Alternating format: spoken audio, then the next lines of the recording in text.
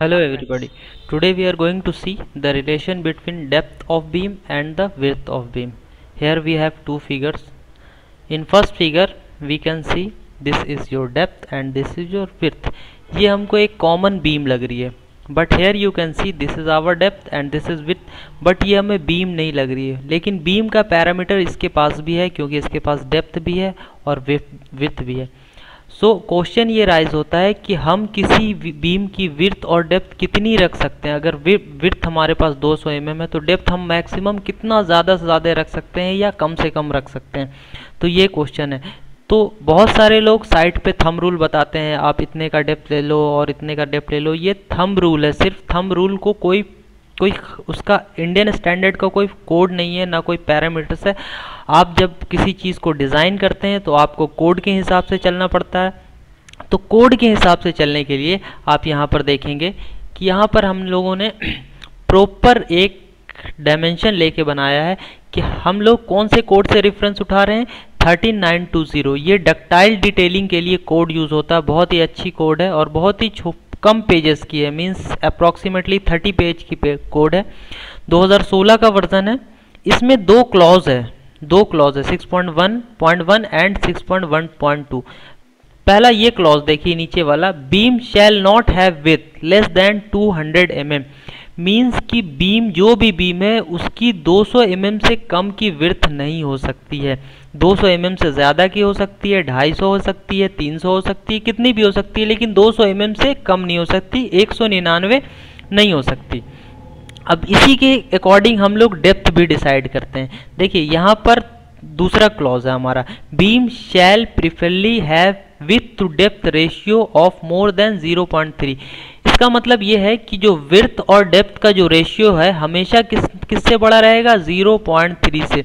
अगर ये रेशियो 0.3 से बड़ा ना हो, छोटा हो जाए या 0.29 हो जाए या 0.28 कितना भी हो जाए तो ये हमारी बीम कहलाएगी ही नहीं, ये कुछ और बन जाएगी। इसे वॉल मान लें या कुछ भी मान लें, जैसे आप यहाँ पर देखें तो ये देखने में आपको यहाँ पर वॉल लग रही है। बट यहाँ पर हम इसको एज अ बीम की तरह ट्रीट कर रहे हैं। हम देखना ये चाहते हैं कि क्या ये बीम है कि नहीं। तो आइए हम जब कैलकुलेशन की बात करते हैं तो यहाँ आइए।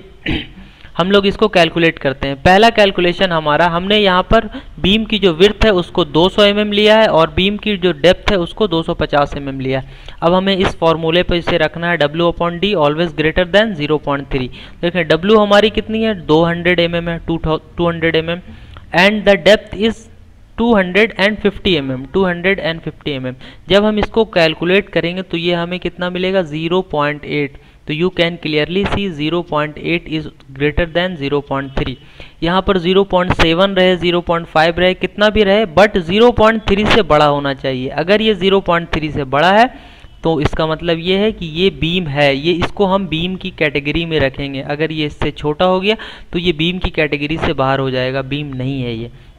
तो ये चूँकि बीम की कैटेगरी में आप लोग देख सकते हैं here this beams parameter is approved by code ये जो है कोड का फॉर्मूला और कोड के फॉर्मूले के हिसाब से ये अप्रूव्ड हो रहा सो दिस इज़ करेक्ट ये सही है। अब देखिए, एक हम ऐसा स्ट्रक्चर ले लेते हैं, एक ऐसा फिगर ले लेते हैं जो हमारे बीम के पैरामीटर्स में नहीं फिट होता। तो देखें उसको कैसे करते हैं हम लोग?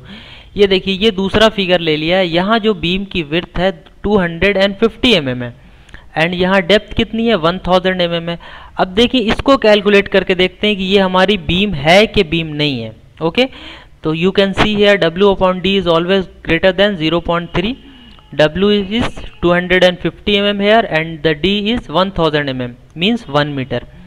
It should be greater than 0.3 इसको 0.3 से बड़ा होना चाहिए अगर इसे बीम होना है तो।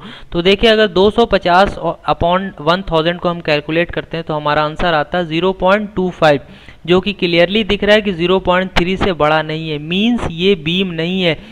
भले ही इसमें विर्थ है और इसमें भी डेप्थ है बट ये चूँकि ये इस पैरामीटर्स को फॉलो नहीं कर रहा इस पर ये परफेक्ट नहीं है पैरामीटर्स पर, इसलिए बीम नहीं है।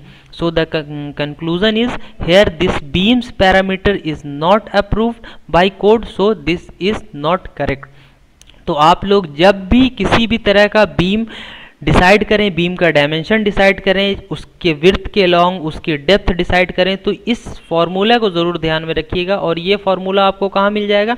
ये फार्मूला आपको सिंपली इस कोड में मिल जाएगा। थर्टीन नाइन टू ज़ीरो, दो हज़ार सोलह का एडिशन बहुत अच्छी कोड है डक्टाइल डिटेलिंग के लिए इंटरनेट पर ईजिली अवेलेबल है।